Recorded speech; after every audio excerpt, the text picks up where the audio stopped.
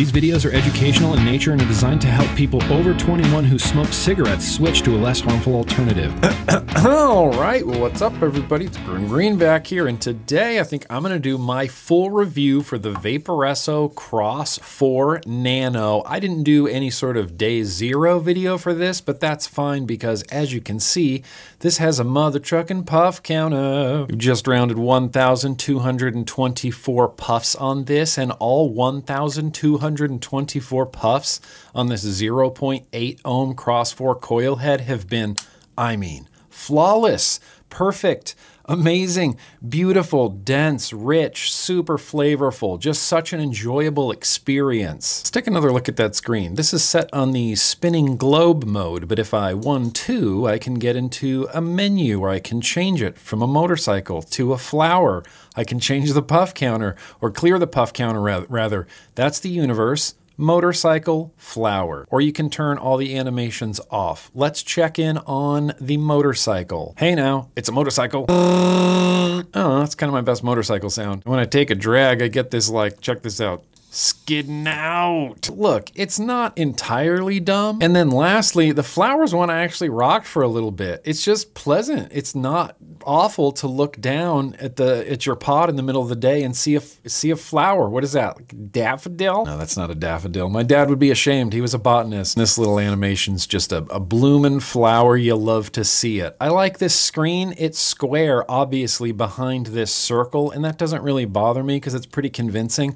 What I don't super love about this circle is A, hi, welcome to Fingerprint City. Yeah, it's fingerprints everywhere. That, and I guess I don't understand this design choice where it goes from matte to glossy to matte again, because then there's this little doopy right here and then this little doopy right here, and these don't do anything. At first I thought this was a button, and I thought, oh, that's cool. Oh no, it's not a button, it's just a, it's just a little doopy thing that's right there. And I can't help but look at this doopy thing and think it's something that needs to be peeled off. Like I feel like this is unfinished and I need to peel the rest of this off. I don't. That's kind of just the way it looks. And if it doesn't bother you, then it doesn't bother you. But man, it, it, kind of honestly bothers me. The back of this is not smooth in any way, and it is a thick boy with the USB-C on the side and the fire button slash, you know, menu button on the side. He said smooth in any way, and I think he meant squishy in any way because it's smooth.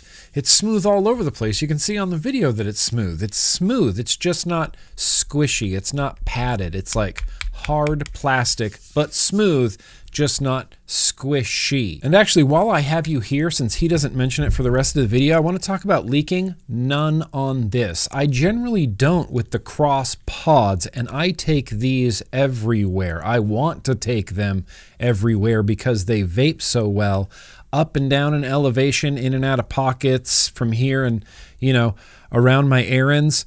No leaking, no weeping, no seeping. I'll show you. I mean, you tell me. I didn't wipe this down. That's just a clean ass pod. Is that even visible? Not even any like spots of liquid down there. Been staying real clean. Can I peel this off? Nope. All right, back to the other guy. See that? 1350 mAh Xros Nano 4. 1350 mAh is a noticeably large battery size. Out of all of the pods that ride around in my pockets all day long, this one by far lasts the longest. And look, it makes up for it in how heavy this thing is.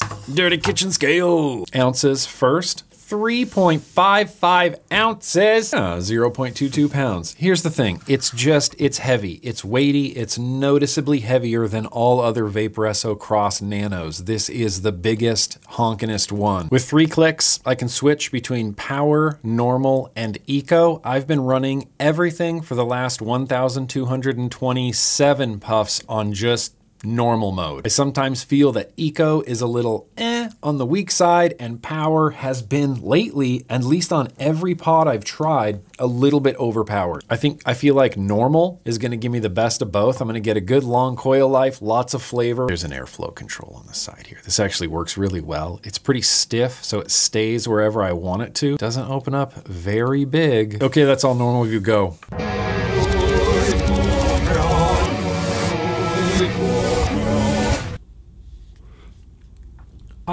The Xros 4 coil heads, the Xros series of coil heads, like banana stickers aside, are just like they're in the Hall of Fame for a reason. We're over 1,200 puffs, and these are just crispy and beautiful and delicious. Now, the battery, the Xros 4 Nano that this is going into right now, also still pretty rad. I mean, the battery life is undeniably good. I'm paying for it with the size and weight of this, but that battery in this size really great, really very great. As much as this whole gloss, matte gloss, I want to peel it off thing annoys me. I don't know if it's enough. It, I don't know if it's enough to really kill this in the banana stickers because literally everything else is awesome. I do kind of enjoy like the weight and how substantial this feels, like some other heavier Argus A's recently. I like it for the same reason. I just haven't lost it. It's heavy, it's weighty. I know exactly where it is. There's no accidentally leaving it in my pocket and like folding it up and this pod ending up in a drawer for like two and a half weeks at a time. Just happened with some lighter pods. With literally all of the things being considered, I think the Vaporesso Xros 4 Nano is going to get nine and a half banana stickers. Why not 10? I guess the, the, the, the, the matte gloss matte looking like I need to peel it off kind of looks like a button but looks more like I need to peel it off. I guess that annoys me more than I thought it did. I opened the blue one because I got the blue one. This came in a big like nine years of Vaporesso like gift thing.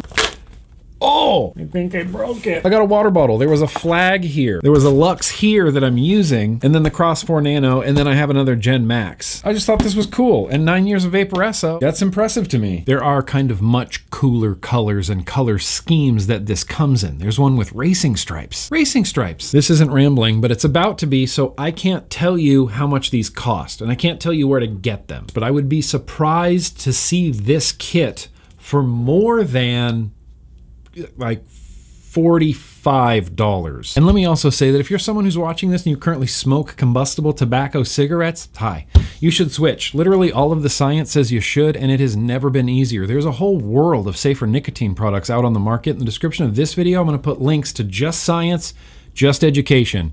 This has been a Grimm Green video. Let's stay cigarette smoke free, just every single day.